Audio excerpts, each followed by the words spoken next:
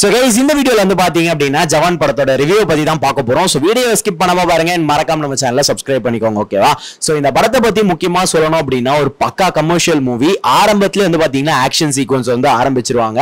And ஆரம்பத்துல இந்த ஒரு ஆக்ஷன் சீக்வன்ஸ் ஆரம்பிக்கிறதுனால வந்து பாத்தீங்கன்னா அந்த ஆடியன்ஸோட அந்த ஒரு எங்கேஜிங்னஸ் வந்து பாத்தீங்கன்னா ஆரம்பத்திலேயே வந்து பக்காவா வந்து ஃபிக்ஸ் ஆயிடுது ஸோ அங்க ஃபிக்ஸ் ஆகுற ஒரு விஷயம் எண்ட் வரையும் வந்து பாத்தீங்கன்னா ஃபிக்ஸடா தான் இருக்கு. எங்கேயுமே வந்து பாத்தீங்கன்னா அந்த லேக்ஸும் இல்ல.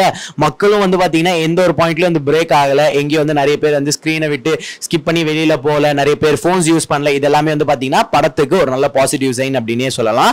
அண்ட் இதெல்லாம் தாண்டி நம்ம அட்லி சாரோட படத்தை கிட்டத்தட்ட ஒரு மூணு வருஷத்துக்கு அப்புறம் தியேட்டர்ல வந்து பார்க்குறோம் அட்லி சாரோட வே ஆஃப் ஃபிலிம் மேக்கிங் வந்து எங்கேயா மாறி இருக்கா? ஏன்னா பாலிவுட்க்கு வந்து போயிருக்காரு புது விதமான பீப்புள்ஸோட ஒர்க் பண்ணியிருக்காரு புது ஹீரோ வந்து அப்ரோச் பண்ணியிருக்காரு. ஸோ இந்த மாதிரியான விஷயங்கள்லாம் நடக்கும்போது அவரோட வே ஆஃப் ஃபிலிம் மேக்கிங்ல ஏதாவது சேஞ்ச் இருக்கா அப்படின்னு கேட்டீங்கன்னா சுத்தமாக வந்து கிடையாது. அவர் வந்து ஆரம்பத்தில் ராஜா ராணி படத்தில் எந்த ஒரு டெம்ப்ளேட் வச்சிருந்தாரோ அதுதான் வந்து பாத்தீங்கன்னா இப்போ வரையும் வந்து ஃபாலோ பண்ணிக்கிட்டு இருக்காரு. நடுவில் வந்து பாத்தீங்கன்னா அவரோட கமர்ஷியல் படத்துலலாம் வந்து ஒரு கலர் கரெக்ஷன்ஸ் வந்து இருக்கும். அந்த கலர் டோனே வந்து டிஃப்ரெண்டா இருக்கும் படத்தோட டோன் அண்ட் இந்த படம் வந்து அதோட மேட்ச் ஆகுதான்னு கேட்டீங்கன்னா சுத்தமா வந்து அதோட மேட்ச் ஆகல. டிஃப்ரெண்டா இருக்கு. பட் இது வந்து நான் நல்லா இல்லை அப்படின்ற ஒரு மீன்ல வந்து சொல்லல. பட் இது படத்துக்கு வந்து மேட்ச் ஆகுது. பட் அவரோட ஒரு சின்ன டிஃபரன்ஸ் அப்படின்னா இந்த கலர் கரெக்ஷன் அப்படின்ற ஒரு விஷயம் மட்டும் சொல்லலாம். மற்றபடி வந்து பாத்தீங்கன்னா எல்லா விஷயமும் வந்து மேட்ச் ஆகும். உங்களுக்கு உதாரணத்துக்கு ஒரு விஷயம் சொல்லணும் அப்படின்னா அட்லீஸ்ட் சாரோட ஆரம்ப படத்துல இருந்து வந்து இப்போ வரையும் ரீசெண்டாக வந்து இந்த பிகில் ரிலீஸ் ஆச்சுல இந்த படத்துக்கு முன்னாடி. அந்த படம் வர வந்து பார்த்தீங்கன்னா இந்த ஃபீமேல்ஸுக்கான ஒரு இம்பார்ட்டன்ஸ் வந்து கொடுத்துருப்பாரு. அண்ட் அதே தான் வந்து பார்த்தீங்கன்னா இந்த படத்துலையும் வந்து ஃபாலோ பண்ணியிருக்காரு. ஸ்டோரியே வந்து பார்த்தீங்கன்னா ஒரு ஆறு ஃபீமேல் லீட்ஸ் வந்து இந்த படத்தில் இருப்பாங்க. அவங்கள வச்சு தான் அந்த ஸ்டோரியே மூவ் ஆகும். அண்ட் இவங்களை வச்சு மூவ் ஆகுது அப்படின்றத தாண்டி வந்து பார்த்தீங்கன்னா இந்த ஆறு பேருக்கு பின்னாடி ஒரு ஆறு விதமான ஸ்டோரிஸ் வந்து இருக்கு. அண்ட் அந்த ஆறு விதமான ஸ்டோரிஸ் வந்து பார்த்தீங்கன்னா மக்களோட அந்த கண்ணை வந்து திறக்கிற விதத்தில் வந்து பார்த்தீங்கன்னா இந்த ஆறு ஸ்டோரியுமே வந்து இருக்கும். ஸோ அதனாலே வந்து பார்த்தீங்கன்னா நிறைய விஷயங்கள் வந்து மக்களுக்கு வந்து புரியுற மாதிரியான விஷயம் வந்து இருக்கும். அண்ட் அதை தாண்டி வந்து படத்தில் டியூயல் ரோல் அப்பா கேரக்டர் ஒன்று பையன் கேரக்டர் ஒன்று இதில் வந்து பார்த்தீங்கன்னா ஆடியன்ஸ் கிளியராக வந்து ஒரு ஃபிலிம் மைண்ட் செட்டில் வந்து ஆரம்பத்தில் வந்து ஸ்கிப் பண்ணாமல் ஃபுல்லாக வந்து பார்த்துருப்பாங்க இல்லையா?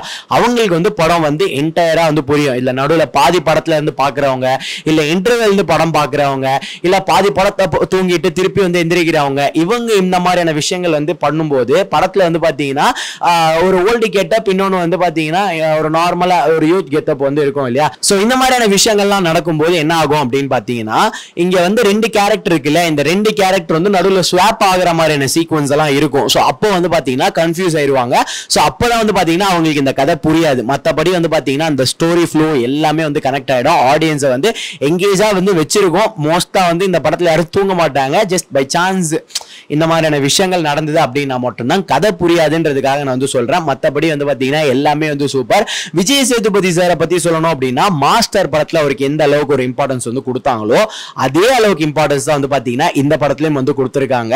சோ அந்த வெயிட்டேஜ் இருக்கு இல்லையா அந்த வில்லனோட வெயிட்டேஜ் அதெல்லாம் வந்து பக்காவா இந்த படத்துல வந்து இருக்கு. அண்ட் கூஸ் பம்ஸ் அப்படின்னு நம்ம பார்த்தோம் அப்படின்னா ஆரம்பத்துல படத்தோட ஃபைட் சீக்வன்ஸ் இருந்து ஆரம்பிச்சு நடுவுல இன்டர்வெல்ல அண்ட் அதுக்கப்புறம் ப்ரீ கிளைமேக்ஸ் கிளைமேக்ஸ் அப்படின்னு சொல்லிட்டு ஃபைட் சீக்வன்ஸ் சே சீக்வன்ஸ் எல்லாமே சூப்பரா இருக்கும். அப்பலாம் வந்து பாத்தீங்கன்னா கூஸ் பம்ஸ் பயங்கரமா இருக்கும்.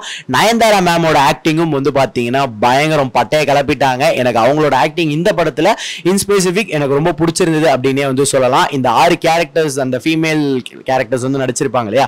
அவங்களோட அந்த ஒரு ஆக்ஷன் சீக்வன்ஸாக இருக்கட்டும் அவங்க வந்து அந்த டைலாக் சொல்கிற விதமாக இருக்கட்டும் ஆக்டிங்காக இருக்கட்டும் அவங்களுமே வந்து பார்த்தீங்கன்னா நல்லா வந்து பெர்ஃபார்ம் பண்ணியிருப்பாங்க. ஸோ எந்த இடத்துலையும் வந்து லேகே இல்லைன்னு கேட்டிங்கன்னா ரொம்ப மைனர் லேக்ஸ் தான் வந்து இருந்தது. மேஜராக வந்து பெரிய லேக்ஸ் இந்த இடத்துல லேக் இருந்தது அப்படின்னு சொல்கிற அளவுக்குலாம் இல்லை.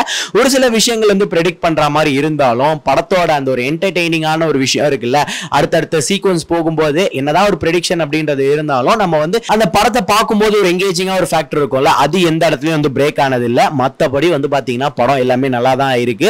ஸோ இந்த படம் வந்து கொஞ்சம் லாகியா இருக்கு அப்படின்ற மாதிரி கேள்விப்பட்டிருக்கேன். இல்ல படம் வந்து ரொம்ப பெருசா இருக்கு அப்படின்ற மாதிரி கேள்விப்பட்டிருக்கேன் அப்படின்னா அதெல்லாம் வந்து அவ்வளோ சீன்லாம் இல்லை.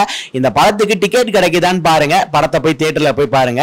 தமிழ் டப்பிங்கில் போய் பார்த்தா படம் எப்படி இருக்கு? ஹிந்தியில் பார்த்தா படம் எப்படி இருக்கு அப்படின்னு கேட்டிங்கன்னா ரெண்டு ஒரே மாதிரி தான் வந்திருக்கும். தமிழ் டப்பிங்கில் வந்து பார்த்தீங்கன்னா இன்னுமே சூப்பராக இருக்கு அப்படின்னே வந்து சொல்லலாம். என்னதான் இந்த படம் வந்து ஒரு ஹிந்தி படமா இருந்தாலுமே தமிழில் பார்க்கும்போது வந்து பார்த்தீங்க அப்படின்னா தமிழ் படத்தை பார்க்குற மாதிரி தான் வந்து இருந்தது. டப்பிங் எல்லாம் வந்து பார்த்தீங்கன்னா செம்மையாக இருந்தது. அதில் எங்கேயுமே வந்து பார்த்தீங்கன்னா மிஸ்டேக்ஸ்ன்னு சொல்கிற விதத்துலையும் இல்லை அந்த லிப் மூமெண்ட்லேயும் வந்து பார்த்தீங்கன்னா பெரிய லெவலில் சேஞ்சஸுமே இல்லை. ஸோ தமிழ் டப்பிங் வந்து வந்து இந்த படத்துக்கு பார்க்கலாமா? ஹிந்தியில் வந்து எனக்கு டிக்கெட் கிடைக்கல. தமிழ்ல டிக்கெட் இருக்குன்னா தாராளமா போய் பாருங்க. படம் வந்து தமிழ்லயும் நல்லா தான் இருக்கு. அண்ட் நீங்க இந்த படத்தை யாராவது பார்த்துருந்தீங்க அப்படின்னா படம் எப்படி இருக்கு அப்படின்றத கமெண்ட் செக்ஷன்ல கமெண்ட் பண்ணிடுங்க.